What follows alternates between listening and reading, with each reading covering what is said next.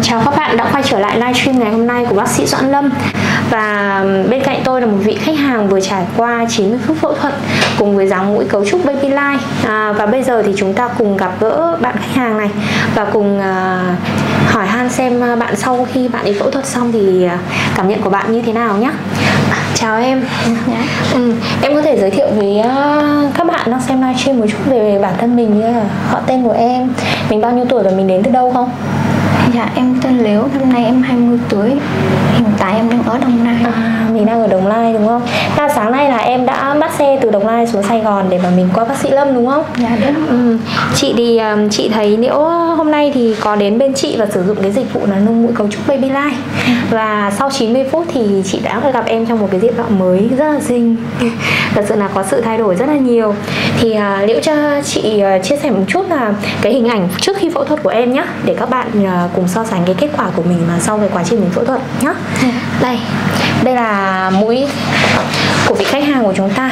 Đây là góc trực diện các bạn nhé. Thì, Ha. Các bạn có thể thấy này, khi nhìn trực diện này, sống mũi của bạn Liễu thì rất là thấp, đầu mũi ngắn và bị hách. Khi mà nhìn trực diện thì cũng có thể nhìn thấy luôn được là hai phần lỗ mũi của mình. Cái này thì ờ, đây là một cái nó không được thẩm mỹ. Ờ, nó không được đẹp. Thì ờ, bạn đã cải thiện bằng ờ, các bằng cái phương pháp là nâng mũi cấu trúc baby line để cải thiện cái góc, cái cái nhược điểm đầu mũi của mình, chính là cải thiện cái đầu mũi ngắn và hết và hở lỗ mũi. Và nhìn nghiêng chúng ta cũng có thể thấy này. Đây, cái đầu mũi của bạn rất là ngắn, cái chóp mũi này nó cao, nó không có góc với nhân trung. Đấy. và cái sống mũi thì lại thấp. Đây, rất là thấp. Và sau 90 phút trải qua cái quá trình nâng mũi cấu trúc baby line thì hiện tại bây giờ chúng ta cùng ngắm cái dáng mũi sau khi làm của bạn ấy nhé góc mũi thì đã được cải thiện rất là nhiều này. Các bạn có thể so sánh ở góc nghiêng nhé. Để chúng ta thấy rõ nhất. Này. Đây, góc mũi của liễu cao hơn rất là nhiều. Đây, và rất là phù hợp với khuôn mặt của em cũng như cái mức độ co giãn da của mình. Và quan trọng nhất là cái phần đầu mũi của em. Cái phần đầu mũi của em đã được cải thiện rất là nhiều, cái phần đầu mũi, cái tình trạng đầu mũi ngắn hết đã được cải thiện. Và quan trọng nhất là cái trụ mũi của em ấy, bác sĩ đã xây dựng lại cho em để củng cố cái phần vững, cái phần, cái vững chắc của phần đầu mũi. Và kéo thêm cũng như là kết hợp xoay chóp mũi của em để cải thiện những cái nhược điểm đầu mũi mình đang gặp phải đây khi nhìn trực diện thì em cũng có thể thấy là mình được cải thiện rất là nhiều à, sau khi mà em lông mũi xong ấy thì bác sĩ cũng đã cho em làm dáng mũi đúng không? Dạ. Ừ. Em có cảm nhận như thế nào về cái dáng mũi mới của mình? Dạ nhìn tự nhiên là đẹp hơn đó chị À đẹp hơn rất là nhiều đúng không? Em có ưng về cái dáng mũi này không? Dạ có À, cho chị hỏi thêm một chút nhé là em đã tìm hiểu bác sĩ Lâm lâu chưa? Dạ tìm em tìm hiểu năm ngoái rồi chị À từ năm ngoái rồi đúng không? Dạ.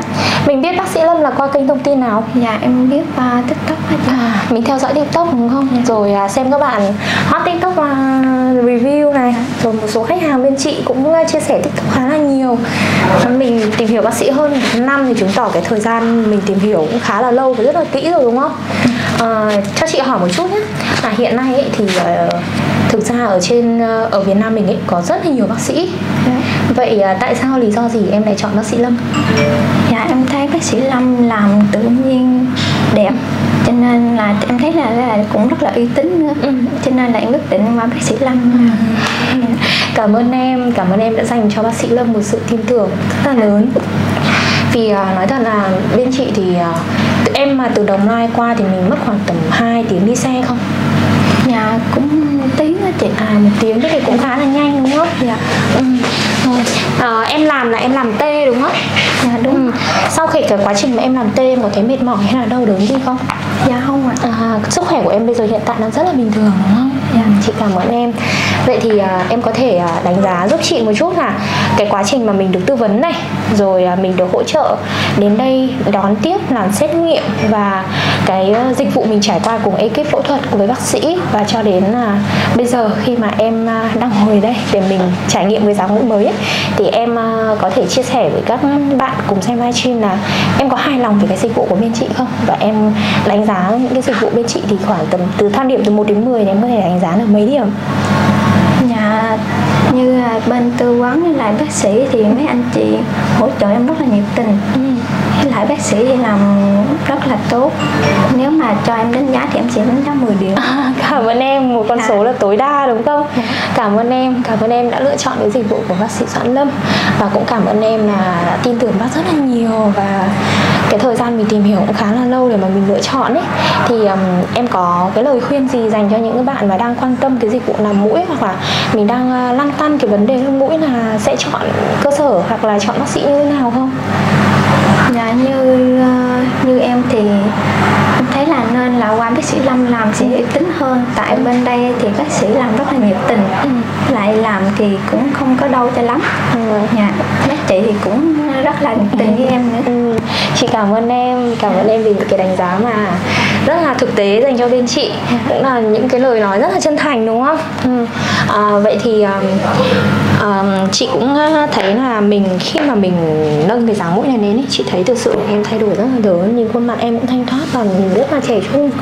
À, thì chị cũng mong rằng với một diện nạn mới như thế này em sẽ có những cái trải nghiệm mới trong cuộc sống và mình sẽ có nhiều thành công hơn trong những con đường sắp tới của mình nhé dạ. à, cảm ơn em đã chia sẻ với chị những cái thông tin rất là bổ ích.